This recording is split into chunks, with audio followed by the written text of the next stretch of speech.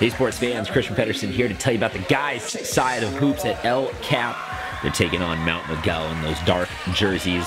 Check out early on Mount Miguel first team to score, and they showed basically how the team gets it done all day, every day, and that is athleticism. Great ball movement leads to a score.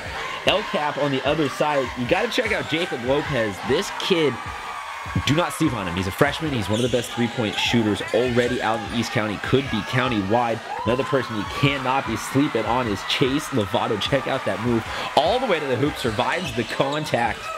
Kid has some style to it. Let's show you James Allen, though, as he would be one of the deciding factors in Mount Miguel getting this W. That one's a steal and score. This one's just straight athleticism and speed with a great finish at the hoop. Mount Miguel, show me that final score. They win at 73 46. Check out the Matadors.